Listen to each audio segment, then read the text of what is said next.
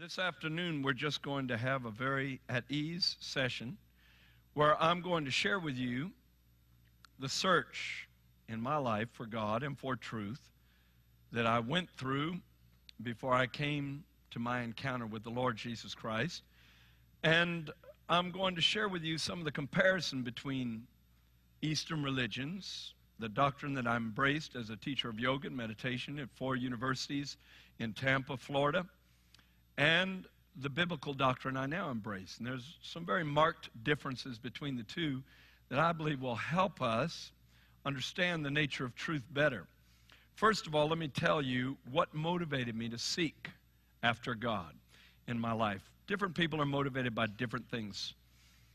Primarily, I was motivated by love. I was never afraid of God. I was never afraid of what God might do to me because of my lifestyle prior to salvation. I just simply had an experience in my life that birthed in me a love for God where I just wanted to know my Creator. I had this intense desire to know Him, but I didn't know how to find Him. Now, what precipitated that was a near death experience. At the age of 19, I had been all involved in rock music. I'd been in a rock band. I played all over Florida and different youth centers and bars across the state. And then I had a near death experience because of drugs. And I came right up to the threshold. I literally felt, or at least I had the impression, I believe it was a literal happening. I felt my spirit leaving my body. I felt the life gather from my legs and my arms to the center of my chest, and then it was going out uh, in a throbbing sensation out into this pulsating darkness. And felt very ominous to me. And, and, and certainly I had no answers about what was awaiting me on the other side of death. And so I, I, was very frightened at the prospect of leaving the world at that time. Thank God, God somehow intervened. I believe the grace of God rescued me from that terrible experience. But I was never the same. I never fit anymore in the circles that I'd been moving in. Uh, I just saw through the vanity of it all and I saw that it was not for me, that I wanted truth that endured eternally, and I wanted to find lasting answers. And so, in an effort to do that, I left college uh, after about six months in my freshman year and began studying full time at the feet of an Indian guru named Yogi Bhajan, who heads up a group called Kundalini Yoga, or he did. At this point, he's passed on. He died just a few months ago. But I was very impressed with the intensity of, of self denial and, and commitment to a purpose that was demonstrated by the people who were involved in this. And uh, they, they would live very disciplined lives, they were very focused on spiritual things. When I got into the depth of it, we would get up every morning at 3:15 in the morning, and the first thing the guru taught us to do in the morning at 3:15 was take a cold shower. He said it stimulated the nervous system. He got that right. A cold shower at 3:15 in the morning definitely stimulates the nervous system, but that was supposed to awaken you and prepare you for meditation. And then we would start at 3:30 and we would meditate, uh, primarily doing what is called mantra yoga, the chanting of Hindu mantras, for two to three hours up until about 6:30. We would be in some form of meditation. Raja Yoga, Mantra Yoga, or what have you. And then the rest of the day was dedicated to various disciplines, the reading of different uh, scriptures. We would read the Quran, the Bible, the Vedas, the Bhagavad Gita, uh, different religious books of different groups. And there were certain segments of time devoted to that, certain segments of time devoted to Hatha Yoga. So that from 12 to 14 hours a day, we were in solitude. We were seeking after supernatural experiences. And the guru I studied under taught us that if we followed his disciplines and if we really devoted our lives to yoga uh, completely, that we might achieve what he called God consciousness or Christ consciousness. Uh, there's a lot of words for it, a lot of phrases that describe this union with God that was the longing in my heart. He said it may happen in 20 or 30 years, and then again he said it might happen in two or three lifetimes that I may have to come back again and devote myself to these, uh, these type of disciplines over and over again for two or three lifetimes before I finally achieve release from the cycle of rebirths. Samsara is what the Hindus call it, the cycle of reincarnations into this world. I'm so glad, though, that I found out it doesn't take two or three lifetimes and it doesn't take 20 or 30 years. That if you go by the route outlined in Scripture, you can attain, if you want to call it God consciousness, conscious awareness of the reality of God and a personal relationship with Him instantly by calling on the name of Jesus and receiving Him into your heart. That's all that's necessary. And it's, it's so easy, it seems too easy to some of those that are more oriented toward logic and reason.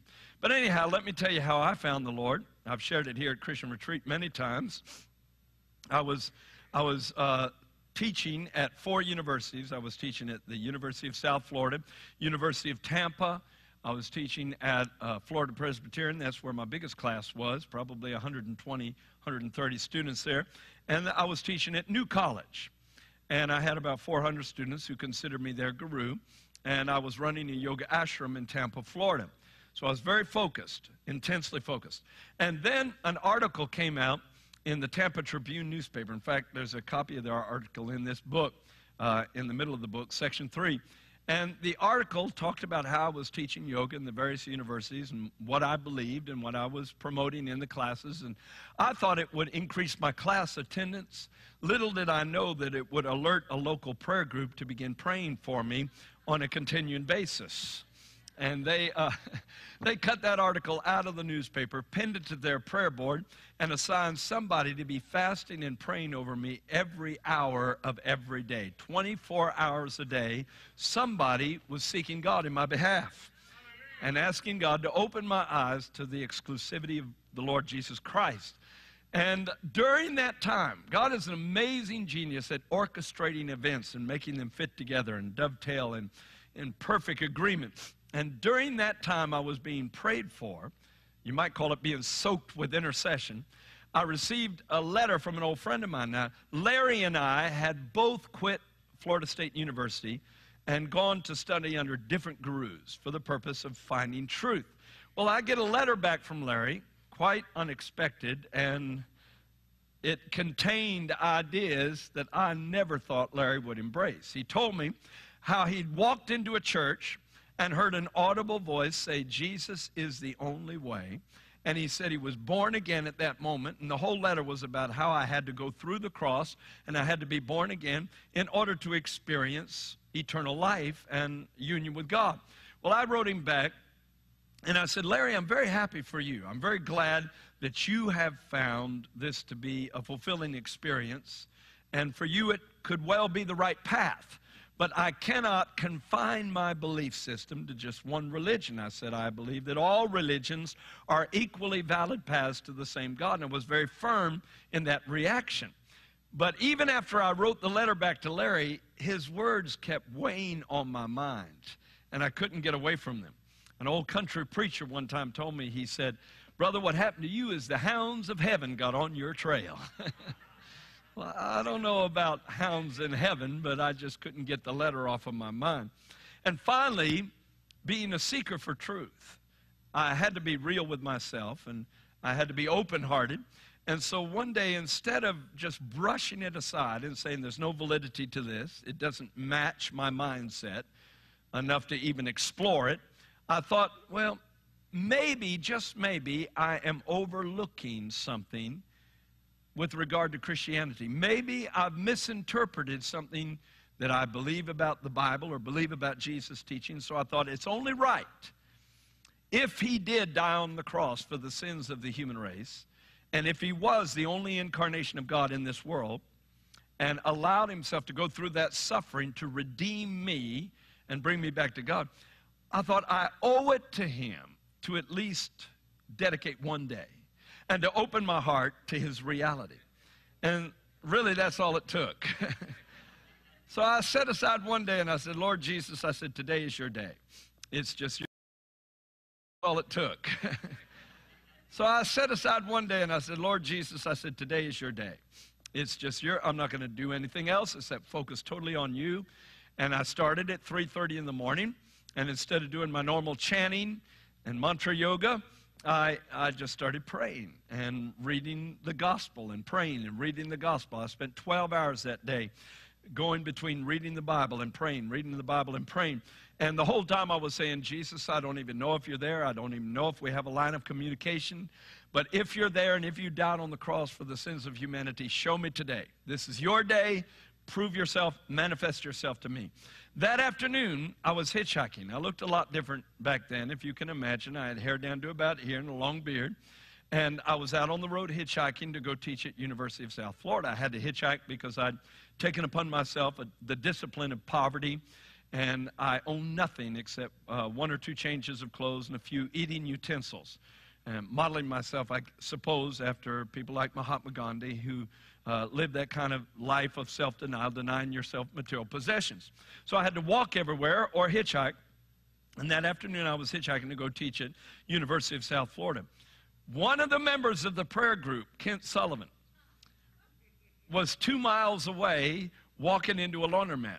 He was a college student with an hour in between classes, and he just coincidentally happened to be a former student of yoga himself. And so he perfectly understood my mindset, and he knew exactly what the obstacles were to me intellectually in accepting Christianity. So he was the perfect choice, the perfect person for the job and God sent him my direction. He was walking into this laundromat, and the Holy Spirit stopped him right in the door of the laundromat. And God said, Don't go in there, get back in your van and start driving, and I'll lead you where you should go. And so he got behind the wheel and just started driving wherever he felt this desire or this inward whim to go. And, and, he drove about a quarter of a mile, and then he felt that unction of the Holy Spirit, and he turned and drove about another quarter of a mile, and then he turned again and felt God move on his heart to make another turn. He made about four definite turns and drove to the very spot where I was hitchhiking. And he told me he never picked up hitchhikers. Never. That was just something he never did.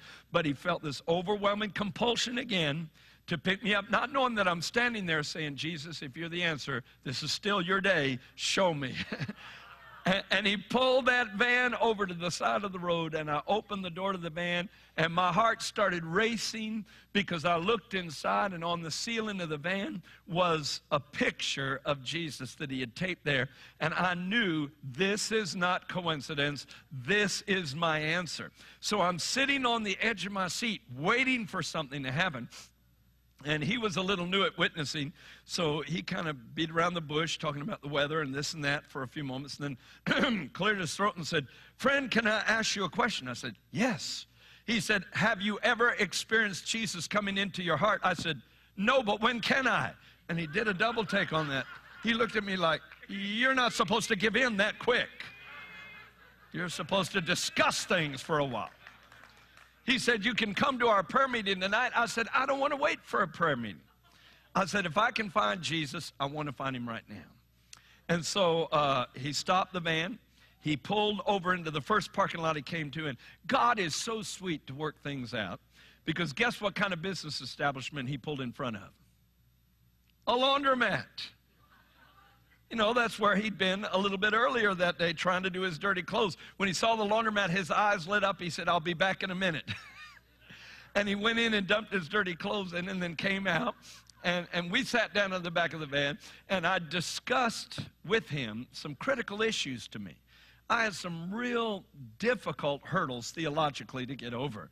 And we discussed a few of them. I told him I could never believe that the Bible was literally the inspired Word of God. And I told him I could never believe in a literal hell, and I could never give up my belief in reincarnation, and a list of different things that I felt were just impossible for me to either give up as a belief or embrace as a belief.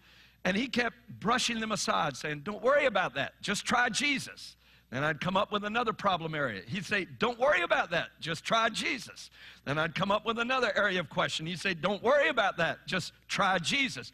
He kept emphasizing that point because he knew if I ever had a personal encounter with the Lord Jesus Christ, that theology would take care of itself. That the mind and its ideas would come into divine order once the spirit is in a union with God. And so, thank God he was wise enough not to get caught up in arguments, or not arguments, but discussions over different concepts. We knelt down in the back of the van, I prayed a simple prayer. It seemed far too simple to me at the time. I just said, Lord, if you're there, and if you love me, and if you gave your life for me, and if this is the way to find God, then come into my heart right now, Jesus. I stumbled through it. I really didn't have a lot of faith because I really didn't believe in Christianity, but I believed in loving God and I wanted to know God. And when I just opened the door, I just cracked it a little bit with that confession and said, Jesus, if you're there and if this is all true, then come into my heart. He rushed in with his presence and his love. For the first time in my life, I literally felt the personal presence of God. I was transformed. I was born again. I received a spiritual rebirth of the Spirit.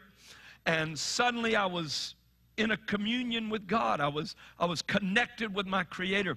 And it was so profoundly real and undeniable that I went back that afternoon and the remainder of the week to all of my classes and told them that unknowingly I had misled them and that Jesus really is the only way, which was, which was quite shocking to about 400 students who felt that I was their guru.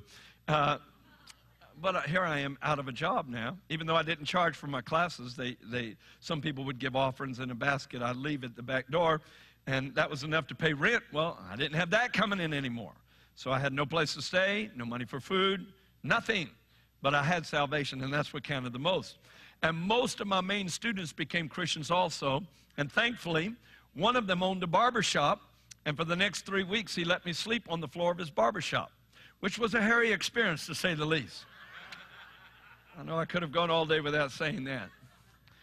But, uh, but then I moved to a Christian mission in Central Florida and worked there for six months. And then, along with another brother, we gave away everything we owned and started hitchhiking around the country, preaching on college campuses and street corners during the Jesus movement era in 1970 and on into the 70s. We traveled, well, 70s and 80s and 90s, we traveled, traveled all over the country and shared Jesus, not just in the church house, but out there where the people are that do not yet embrace Christianity.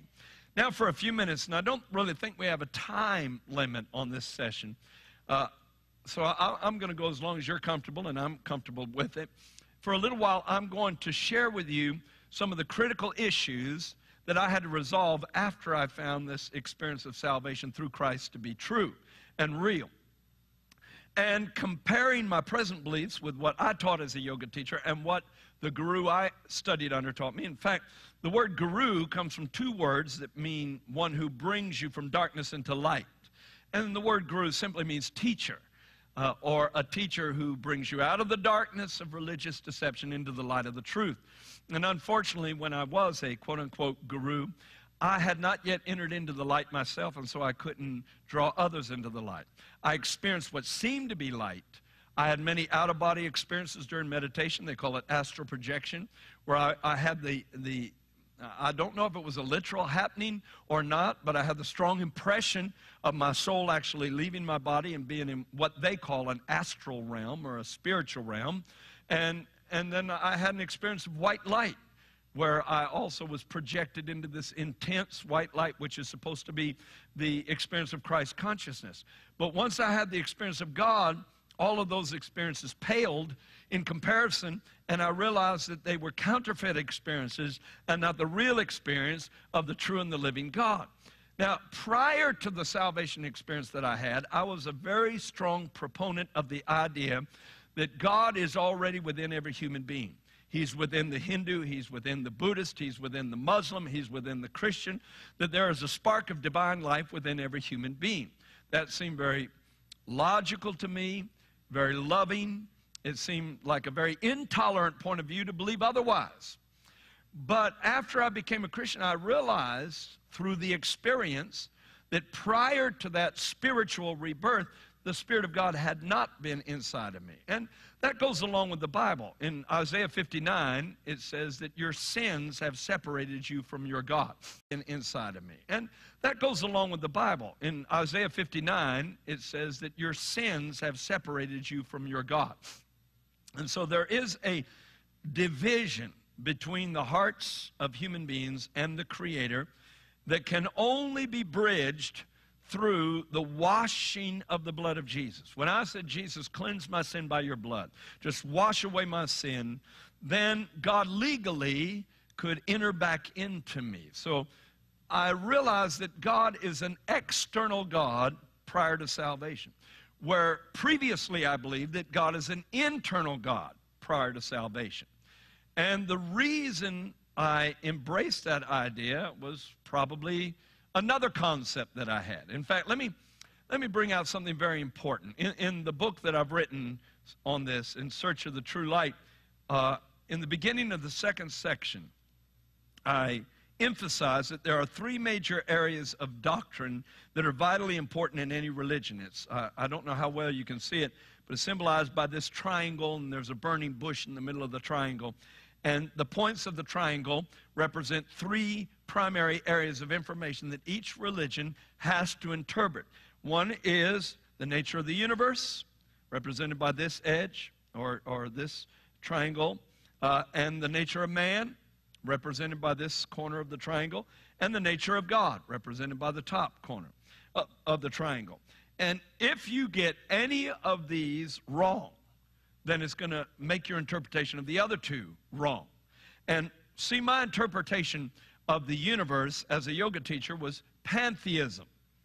And pantheism is basically the belief that the universe is not a creation of God, but rather an emanation of God. That God emanated himself in the form of physical matter. So that that's not really stars and planets and asteroids and, and suns and solar systems and galaxies. But all of that and all of the things it contains the trees, bushes, flowers, animals, human beings it's all God veiling himself in the appearance of physical matter, but that's not really a cat, that's God expressing himself as a cat. That's not really a tree, that's God expressing himself as a tree. And the Hindus call it Maya, that, that we relate to the world as being physically real, but it's really a delusion, it's Maya. And, and, that in order to be enlightened, you've got to realize that, that those things are eventually going to dissolve away into nothingness. And the phrase they use is go back to Godhead. They will all eventually blend back in in oneness with God. Now, I embrace that very wholeheartedly. I thought it to be a logical view of the universe that God is uh, the life within everything and that He's at the core of everything. Now, that's how I interpret the universe, or interpreted the universe as a yoga teacher. Now, if you interpret the universe that way, if you say everything is God, and that's what pantheism means pantheism. Uh, the word pan means all, and theism comes from theos, which means God. All is God, and God is all. If pantheism is true, is if everything is God, then that's going to uh, affect your belief concerning the nature of man. Because it's not a quantum leap of logic to then say, if everything is God, we are God, which is a belief uh, that you find in Hinduism, in philosophical Hinduism, that we are God, and also it's uh, very predominant in what we would call the New Age movement, that uh, every person in this room has a perfect right to the title I am, I am that I am, that we all are eternally God in expression. Now, if I embrace that, there's a problem area with that idea. Because if I say we are God, that includes, look at the acronym now, WE, the worst of the human race and the most excellent of the human race. It includes the Mother Teresa's and it includes the Adolf Hitlers. Now, if all I had to look at were people with developed characters like Mother Teresa, I could almost fall prone to the idea that we are God in expression. But when you see a tyrant like Adolf Hitler, how can you explain that? How can you say we are all God when someone could be that vile and vicious and demonized? Well, you have to alter your view of the character of God then. So, first you start out with a belief concerning the nature of the universe in one corner of the triangle. It affects your belief in the nature of man at the other corner. Now it's going to affect your belief in the nature of God. If we are God, and we as human beings include both evil and good people, then the next jump of logic is there must be both good and evil in God, which is actually what the yin yang symbol represents. Look on the cover of the book, you'll see this symbol up in the upper right hand corner is the symbol of ancient Taoism, an ancient religion of China. And this is called the yin yang symbol. A lot of people think it just represents the duality of male and female, and a lot of people wear it as a charm on a bracelet or something like that, thinking that's all it refers to. But it really refers to first the dualities you face in this world uh, summer and winter, pleasure and pain, male and female, mountains and valleys, night and day. Life is full of dualities joy and depression, hope and despair. We face them every day, and that's a correct observation. And Taoism centers its attention quite a bit on the balancing of all of these dualities you face in life, how to deal with it, how to react to it. And they come up with some good conclusions.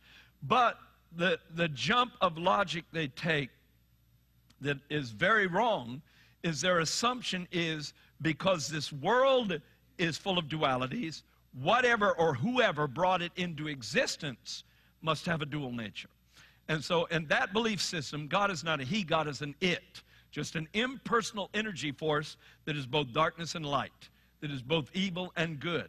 And we see that demonstrated even in some cultural things uh, that you're probably very well familiar with in our generation, like the movie Star Wars.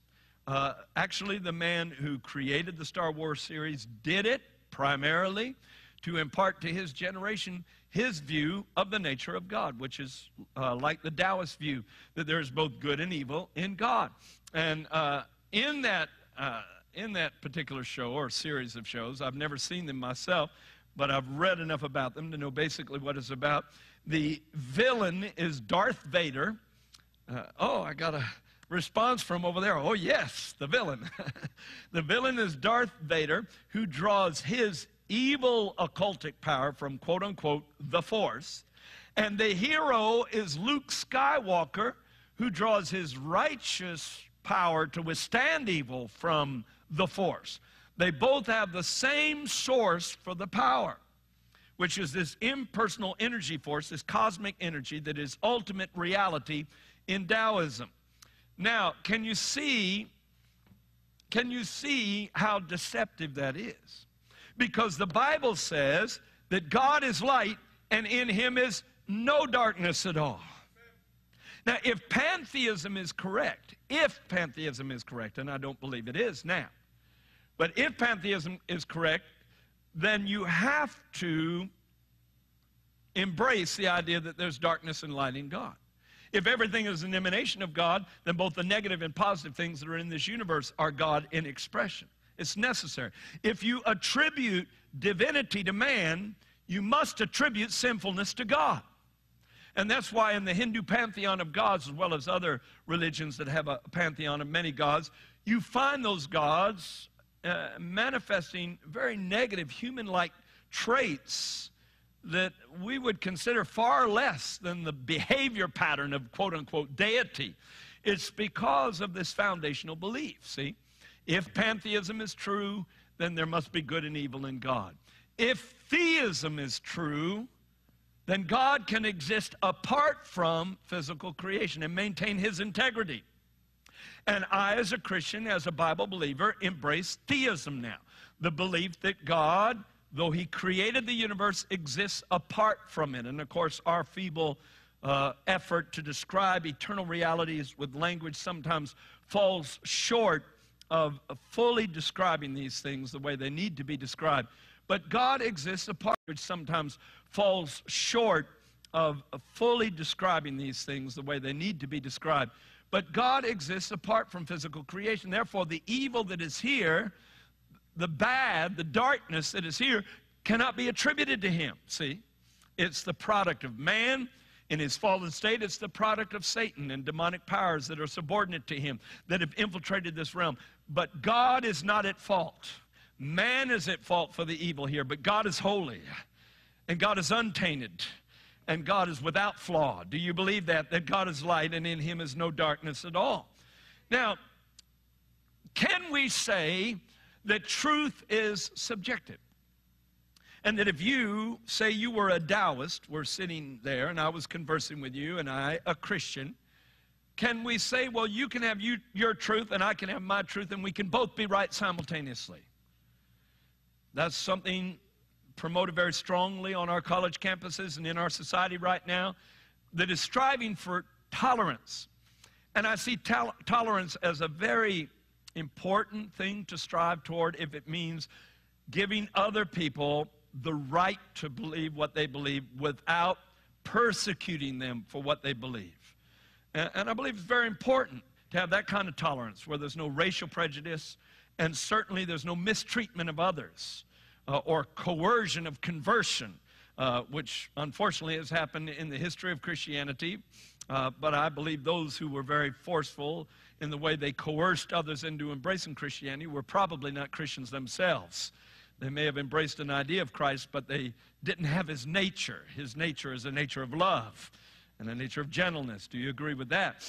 But, but there is no, there is no uh, way, logically, in my thinking, that I could say that. That I could say, well, you can have your pantheistic belief, and I can have my theistic belief, and we can both be right simultaneously. Either pantheism is correct or theism is correct, but they can't both be correct. Now, there is a modified version of pantheism that is called panentheism, P A N E N T H E I S M.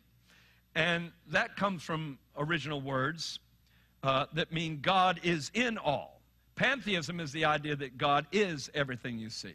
Some people don't believe that necessarily the universe is God emanated, but they do believe God is the spark of life within every living thing. That's panentheism. But again, theism differentiates between natural life and divine life. See? In fact, in the Bible, there's two different words translated life. One is suke. It's spelled in the Greek P S U C H E, suke. And for instance, Jesus said, Take no thought for your suke. Take no thought for your life, what you shall eat, what you shall put on. For the life is more than meat, it's more than raiment. It's more than what you eat, it's more than what you wear. That's talking about natural life, human life.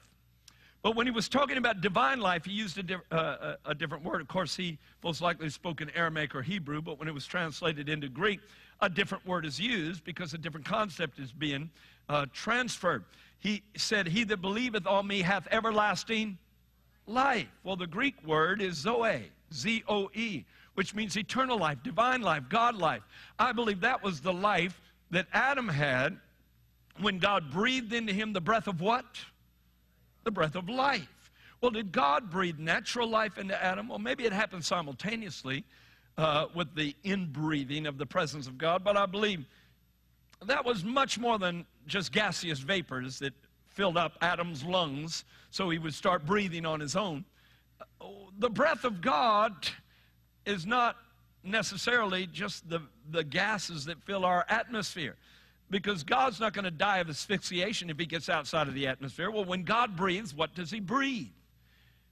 He breathes himself, his very divine essence. And I believe when he breathed into Adam's nostrils, Adam became a what? He became a living soul. A soul, a living soul. Wasn't necessarily talking about the physical body, he was talking in that instant about the soul becoming alive with the presence of God. Now, when Adam transgressed, the breath of God took its departure. He was still a living physical body with a fallen soul that had a lot of death dealing attributes about it, attitudes and, and, and things that crowded and clouded Adam's mind, like depression and fear and guilt and condemnation of himself and, and all the things that we face as soulless human beings. And the spirit of man, uh, the spirit of Adam, was, for all intents and purposes, dead. The Bible says we're dead in trespasses and sins, and that's primarily talking about the spirit part of us. See, there's three parts to you the body, the soul, and the spirit. Each is a trinity within itself. The body is made up of flesh, bones, and blood. The soul is primarily made up of mind, will, and emotions. And the spirit is primarily made up of conscience, intuition, and communion with God. Through the Spirit, a man communes with God and receives revelation or intuition from God. And the conscience is also a part of the Spirit, which is that inward sense of what is morally right and morally wrong, and it carries with it the desire to do what is morally right. And when Adam fell, the soul plunged into darkness and started experiencing horrible things lust, greed, pride, selfishness, hate. And the spirit was dragged down into the mire. Communion with God was cut off. Intuition was almost completely cut off. Every now and then in our lives, we get little glimpses of insights, but for the most part, they're distorted or wrong. Uh, that don't come from God. Every now and then, somebody may get a little bit of intuitive knowledge from God, but not much. And conscience is about the only part of your spirit that's still functioning, but it's like a barely burning ember where there used to be a raging fire of sensitivity to God. So, can you see the problem with man? Man is in a state of separation from God, and his spirit is almost non functional. But when a person is born again, praise God, he's instantly connected with God in communion with God. He is able to receive intuitive knowledge, revelation knowledge from God, and his conscience is purged from dead works to serve the living God, which is a biblical way of saying that the conscience is purged of the influence of the damage it received when we walk through a life of sin and it's made sensitive to what pleases and displeases God again.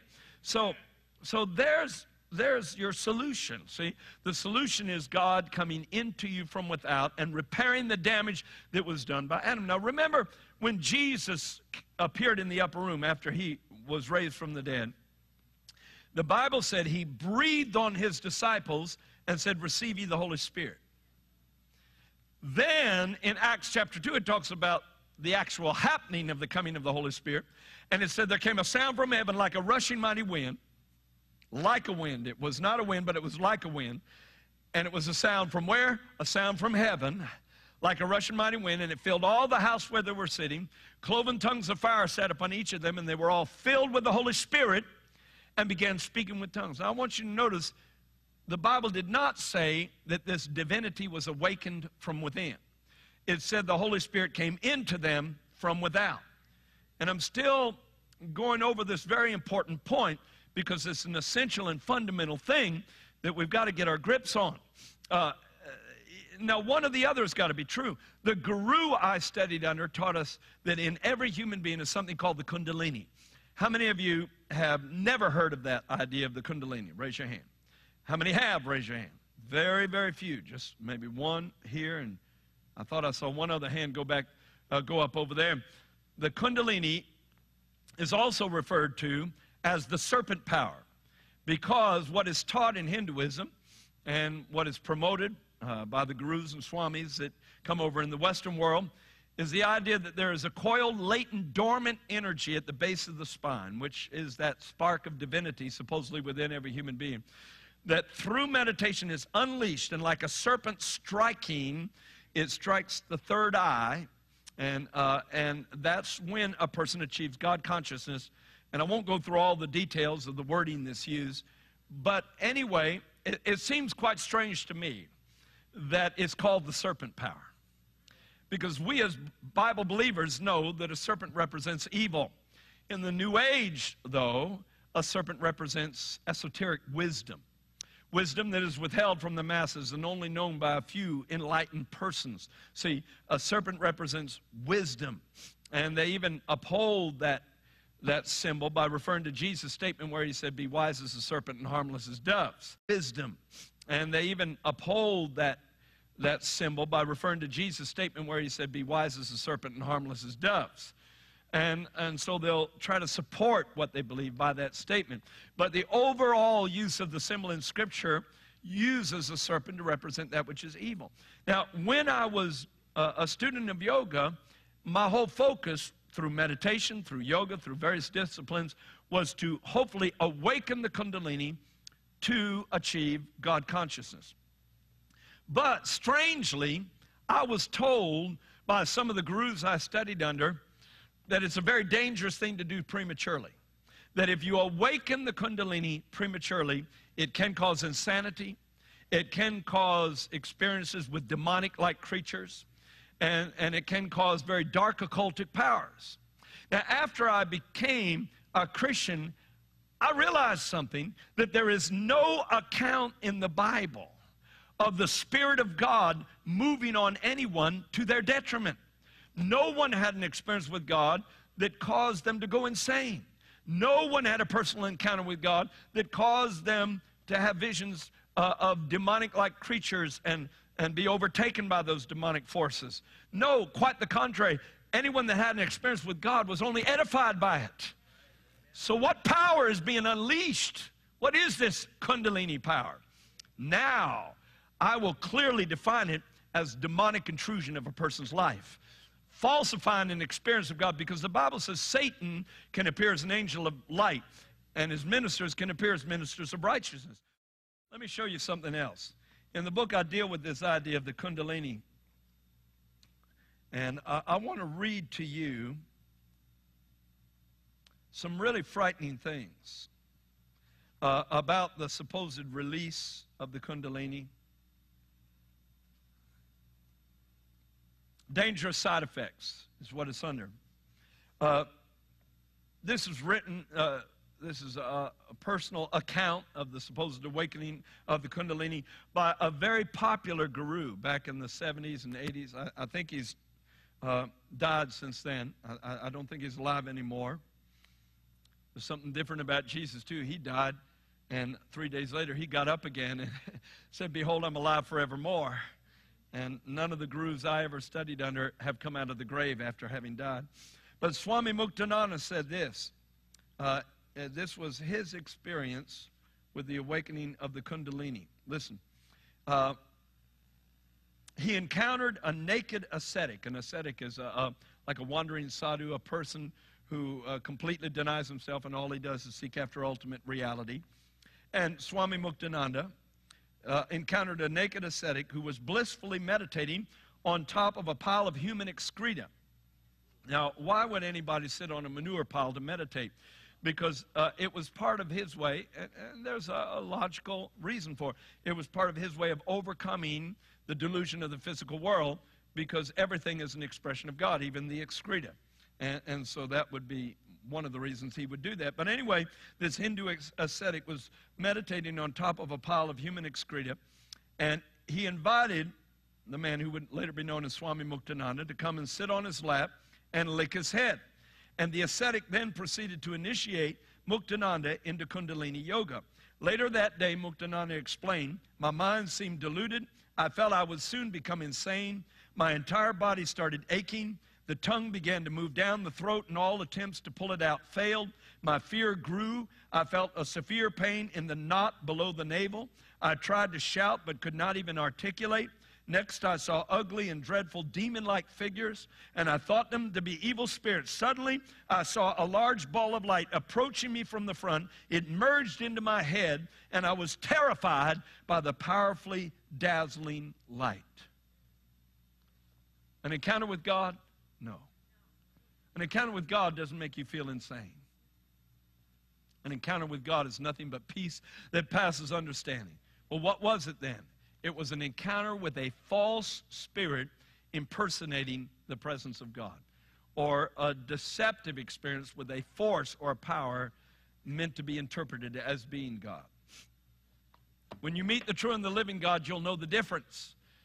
Until you eat a peanut butter and jelly sandwich, all of my attempts at describing the way it sticks to the roof of your mouth and the way it tastes are in vain.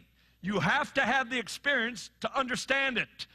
And in like manner, I cannot explain to you what this experience of God is like. You've got to have that experience. Like Kent Sullivan told me, don't worry about those issues you're all worried about. Try Jesus. Amen. Try Jesus. Just try Jesus. All right, let me explain something to you. Again, uh, on this issue of whether or not truth is relative. What if? What if you had two astronomers? talking their theories out. What if one of them was Ptolemy, who lived around the second century, who taught that the world uh, was that the earth was the center of the solar system and that the sun revolved around the earth. And that was such a popular, popular belief that you chanced, that, that was such a popular belief, you chanced being killed if you offered an opposite point of view. And that's why a thousand years later, uh, Copernicus came along, and, and he waited to the end of his life to offer a heliocentric view that no, the sun is the center of the solar system because he knew he might be killed for his belief. What if they could be seated in the same room? Could Copernicus say to Ptolemy, You can have your belief, and I can have my belief, and we can both be right simultaneously? Truth is subjective. Truth is not objective. It's not the same for everyone. You can have your interpretation of the solar system, and I can have mine. Of course, anyone in the room would say that's illogical, that one has to be right at the expense of the other view being wrong. Well, the same is true concerning this that I've discussed up to this point. Either theism is correct or pantheism is correct, but they can't be both right simultaneously. One has to be right at the expense of the other being wrong. Do you agree? That's an important point. There's some other things that I discovered after I became a Christian. As I began to search through the Bible and really inspect some things. The guru I studied under, for instance, he used to teach that Jesus' death on the cross did not provide atonement, but he used the same letters and yet hyphenated the phrase at one ment, A T O N E M E N T at one ment instead of atonement. He said Jesus' death on the cross demonstrated at one ment his oneness with God that forced him to fulfill his destiny, even if it meant death. But the guru I studied under taught that Jesus' death could not provide atonement for sin. It could not cleanse anyone of their sin. It was all an example of obedience. But there's something else my guru taught me that eventually caused me to reevaluate everything he taught and discard a lot of it. He taught that Jesus was an avatar. How many have heard of the word avatar? Uh, how many don't know what it means? The word avatar is a Hindu word that means a manifestation of God or an incarnation of God. And in Hindu theology, well, there's a lot of different lists in various sacred books. One list says there's been 22 avatars. Another uh, gives another number. I, I guess they've kind of resolved it to a, about 10 in number. There's been 10 avatars. Um, most will agree on that. Uh, of course, Jesus is not included in that list of 10 necessarily, and so it's a, a flexible belief. It can bend uh, uh, the direction of whoever wants to use the term. A lot of people have claimed to be avatars, uh, e- even in our generation.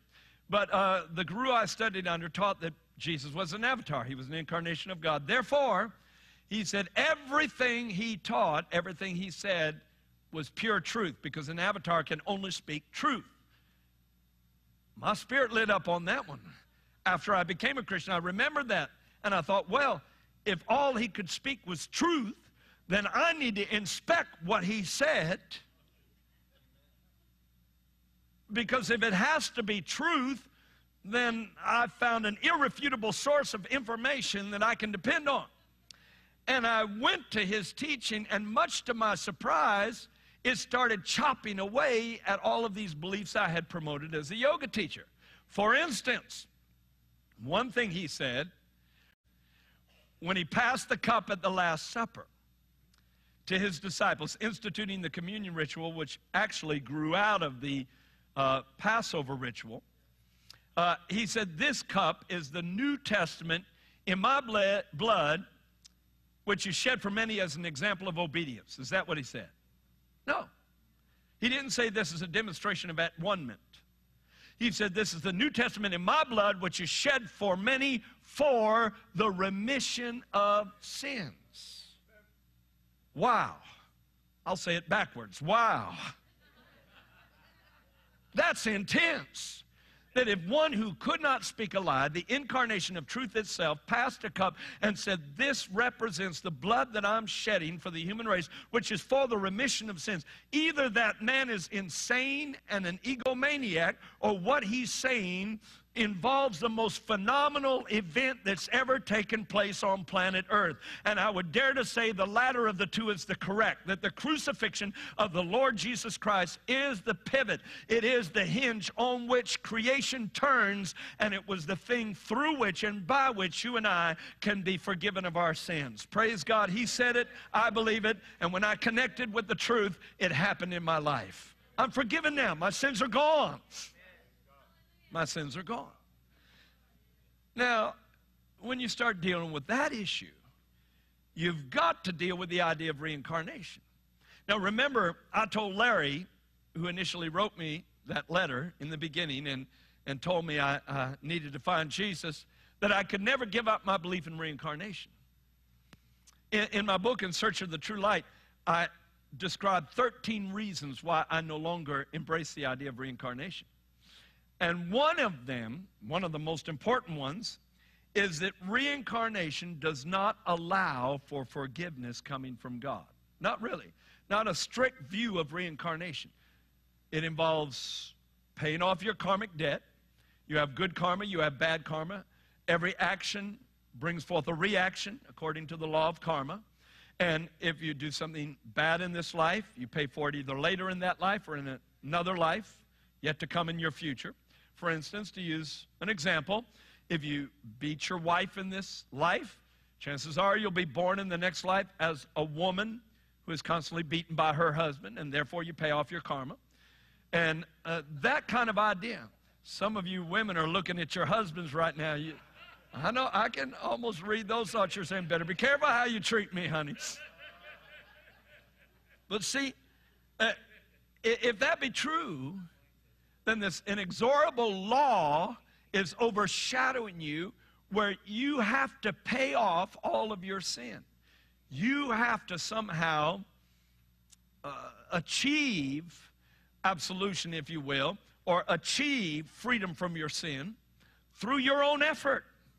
You work out your karma. And that's why people devoted to yoga will spend a lifetime trying to do their best to rid their life of all negativism to rid their life, even to the point where, uh, of course, with the belief in reincarnation comes the belief that the soul passes through animal stages on its way to human stages, if you believe in progressive reincarnation.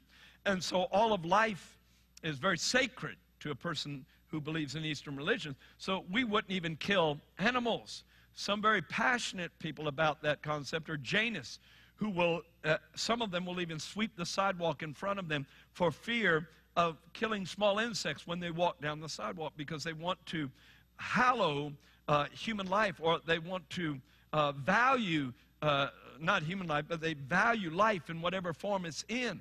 Uh, for fear of getting any negative karma that they then have to pay off, see? Well, when you really realize that every breath you take, you're breathing in microorganisms. Every uh, drink of water you take, you're drinking in microorganisms. And and there's all kinds of negative things happening all the time. You, there's no way you can pay that off. I'll never forget the first yoga ashram that we bought, or uh, that we started a, um, a yoga ashram at. We rented, rather. We rented this yoga ashram, this building, to have a yoga ashram there. We didn't know it was infested with fleas. Oh, it was infested. We rented this house, and we were going to set up yoga classes there, and we started meditating the first morning. And honestly, a hundred fleas must have jumped on me. They were biting me on my scalp, on my arms, on my legs.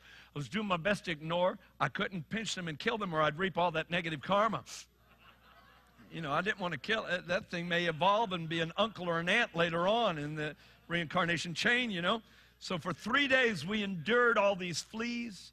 And then after three days of misery, we backslid and went and bought a can of black flag and killed every flea in the house. He said, Karma or no karma, they're going. Well, we were sincere in believing that. But see, if you lived a million lives and did your best to rid your life of every sinful tendency, every sinful thought, every sinful attitude, you'd never achieve your goal. There's never been a perfect human being that has lived a flawless life. You need more than self effort in uh, attaining or achieving union with God. You need forgiveness. An impersonal life force cannot forgive you. See, in Hinduism, ultimate reality is Brahman. B R A H M A N. Brahman is the ultimate force that underlies all things. And out of Brahman comes this multiplicity of gods, the, the traditional figures 330 million gods in Hinduism. which is not an exact figure, it's just used to sh- show how many gods can exist within Hinduism. And all of these personal gods supposedly emerge from Brahman, who is the absolute. And Brahman is a non seeing, non hearing, non responsive cosmic energy that you do not pray to, but rather you meditate on, so that divinity can be awakened within you. But you don't pray to Brahman because Brahman won't respond. Brahman is not a personal God. God is an impersonal life force on the ultimate level in Hinduism and in a lot of those things that have stemmed from Hinduism, like the New Age movement. Ultimate reality is nothing more than a cosmic energy. Now, there's two big problem areas from that way of interpreting the Godhead. Number one, it makes God subservient to man. Then God is controlled by the right incantation or the right um, chant or mantra. You control the energy force to release it the way you want. God becomes subservient to man.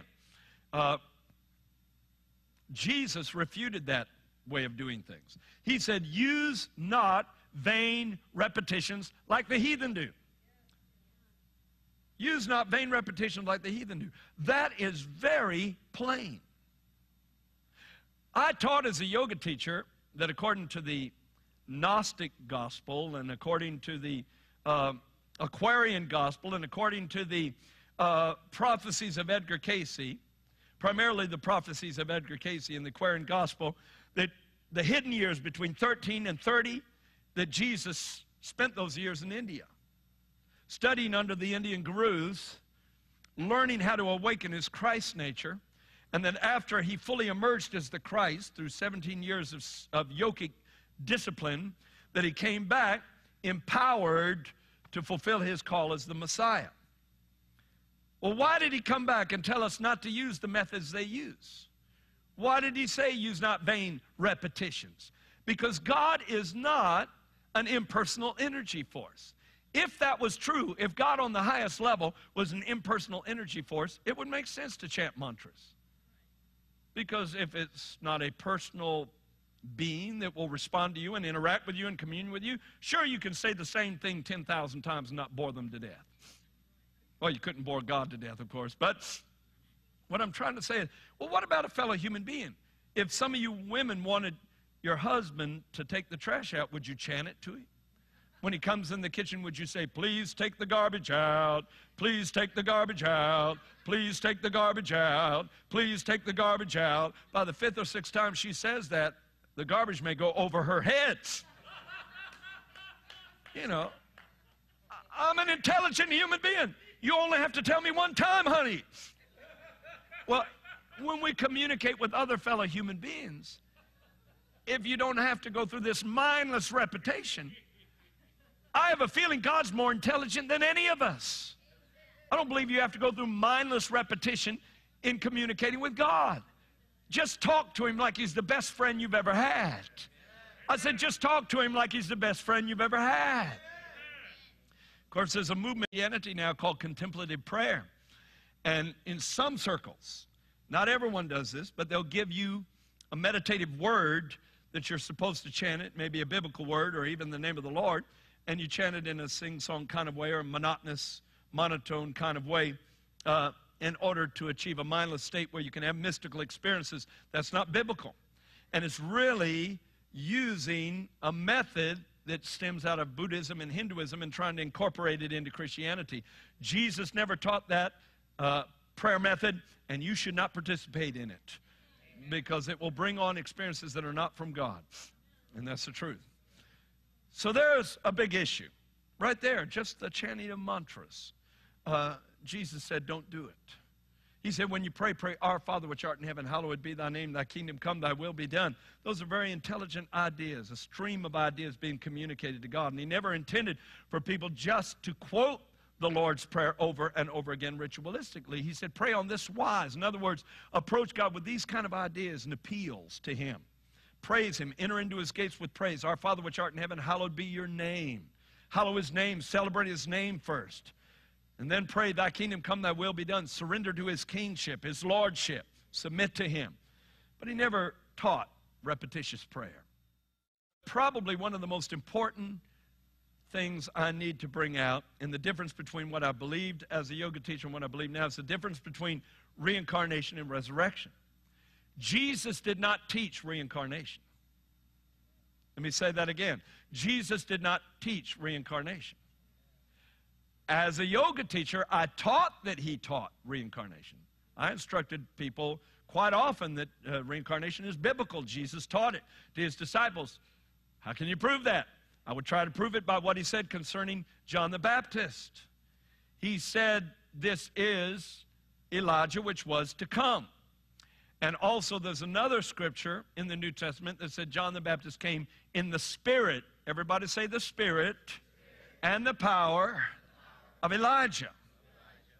Now, interpreted on the surface, that sounds like he was saying that the spirit that was in Elijah reincarnated in the form of John the Baptist. But when you compare, and correct exegesis of any biblical scripture involves comparing all references to the same subject, then you come up with what God is trying to say. And when you compare all the references that deal with Elijah, you'll find out something much different is being communicated. Because, for instance, when Elijah ascended into heaven in a fiery chariot, first of all, he was assumed both body, soul, and, uh, of course, spirit. His whole being, body, soul, and spirit, were taken up into a heavenly sphere. So if his body was taken to a heavenly sphere, how could he be reincarnated because he never lost his body to start with? That would be one obese person to have another body inside of your body. That would be a real problem. And I'm speaking tongue in cheek. But first of all, he didn't lose his physical body. His body was just made, I believe, into a heavenly or glorified form. Secondly, when or right before he was taken up into heaven, Elisha, his protege, said, When God takes you, let a double portion of your what? Of your spirit be upon me. And it happened where the spirit of Elijah doubled rested on Elisha. In that instance, the spirit of Elijah was not a reference to literally his personal soul or his personal spirit, but rather the anointing that rested upon Elijah was then transferred to Elisha. And later on, that same anointing, the spirit of Elijah that was transferred to Elisha, was again transferred to John the Baptist, who fulfilled a similar purpose, where Elijah came to restore right religion in a day when idolatry was abounding in Israel and they were embracing all these wrong religious beliefs and false gods. And Elijah got them centered again on the correct view of God and, and got them back to the basics of real religion. And that's what John the Baptist did. He, he pushed aside all of these Pharisaical traditions and got back to the basics again to restore the people back to true religion. The spirit of Elijah rested upon him. If you take everything together, Jesus never taught that John the Baptist was actually Elijah reincarnated but rather that he was the fulfillment of an ancient prophecy that Elijah shall come first before that great notable day of the Lord and before the Messiah comes. But he came in the sense that his anointing and his power was on John the Baptist. He was not literally John the Baptist reincarnated. Very important point, extremely important point. Uh, another thing I should cover with regard to this is the difference between reincarnation and resurrection. In the doctrine of reincarnation, it is taught that the highest part of you, the highest self, is one with Brahman. It's called Atman, A T M A N. And Atman is one with Brahman, and most people are not consciously aware of that part of their being. They live lives identifying with their jiva, J I V A, and it means the personalized part of you in an incarnation where you relate to your name, your family, your race, your, uh, your country, your nation that you're part of. You identify yourself these ways. You don't identify yourself as this being who is one with God. You're locked into this physical consciousness and you go through life that way. Okay? And, and that these personal beings are discarded on the evolutionary journey of the soul. And so these personal beings don't really have ultimate value. They're discardable because they're experiences you have during the chain of reincarnations that mold and shape your character on your way to perfection. And so it in in de-emphasizing the value of each person during this chain of reincarnations, you actually devalue individuals. And that's why there can be massive suffering in a land like India. And some of the gurus just teach that the answer really is, is not building hospitals and taking care of people because they're just suffering for karma uh, incurred through negative things they've done in their past lives. See? And, and the answer is withdrawal. Withdraw from it.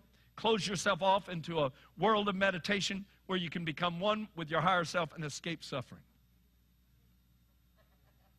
And I understand that view. I understand their w- reason for reacting that way. But that's not the answer. Because Jesus values the individual.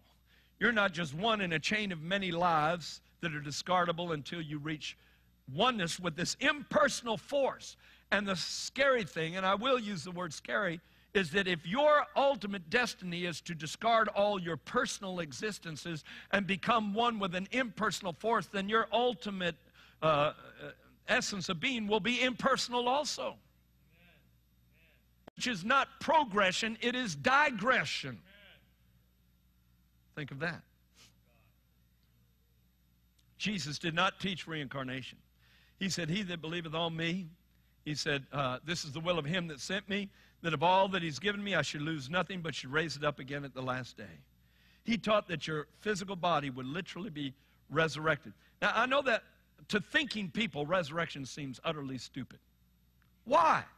Because what about somebody that gets buried at sea and the fish and the sharks eat their bodies? And then hundreds of fishes swim different directions and they die and get eaten by hundreds of crabs that crawl away, that get eaten by some other creature that goes different directions. And before long, little pieces of your body are scattered all over the ocean floor. How in the world can God resurrect that? Well, that'll be a job for him, won't it? Well, the thing is, he doesn't need your whole body. He only needed a handful of dust when he started and made Adam in the beginning. He would only need a microscopic little piece of what your body was to reshape and bring forth a glorified body in the end for you. Uh, why does he need? Why does he need that physical material? It doesn't seem logical. I admit it, it doesn't seem logical just because he chooses to. And I think the reason he chooses to is to show his power over what looks like something worthless. He could have created Adam without resorting to using the material dust, but he wanted to use a worthless substance to create his creature of highest worth. And he could give you a, a celestial form without even using any of the substance of what was your physical body. But he chooses not to do it that way. And if it pleases God, it's okay with me for him to do it. However, he wants to get me to a glorified state.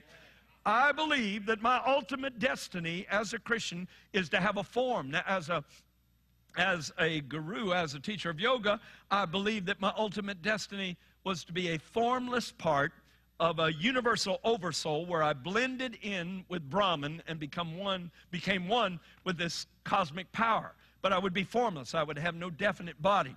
But now I believe that you and I, if we see Jesus when he comes back again, and we're changed in a moment in the twinkling of an eye, will be brought forth as glorified saints of the Most High, shining in the kingdom of God like the sun. The Bible said there will be such brilliance, such radiance emanating from us.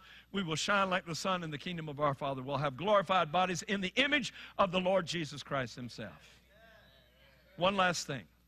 One last thing. There's a lot of talk about Jesus and Buddha being brothers. You know, there's a lot of books at Barnes & Noble, Books A Million, that celebrate the idea that Jesus and Buddha were brothers. I believe Buddha, actually, I believe Buddha was a very good man that really had high ideals. He was born into a royal family. He saw through all the phoniness of the life that he was confronted with all the time, all the fickleness and, and the self centeredness uh, of being so wealthy and surrounded by people that were so poverty stricken. He just couldn't handle that kind of life, and he left and became an ascetic. And, and spent many, many years meditating, trying to find ultimate reality. I believe he was really sincere. I believe if he had lived in the days in which Christianity was preached, he would have become a Christian because he was not satisfied with just temporal existence. But anyway, he arrived at some conclusions. One conclusion he arrived at is that man has no soul. That man is made up of five parts that disassemble at death. But there's no such thing as an enduring soul or personal self that endures beyond death. And he said, You've got to give up your, pers- your belief in a personal soul, and you've got to give up your belief that that soul can have a personal existence in a heavenly state in order to achieve nirvana. Well, how could Jesus and Buddha be on the same plane when Jesus taught you definitely have a personal soul and that you definitely can spend eternity in heaven? Are both right? Can both sit in the room and say, Well, your beliefs are pretty good. My beliefs are pretty good. Why don't we say they're both truth? Of course not. Either you have a soul or you don't have a soul. Either you can spend eternity in heaven or you won't spend eternity in heaven.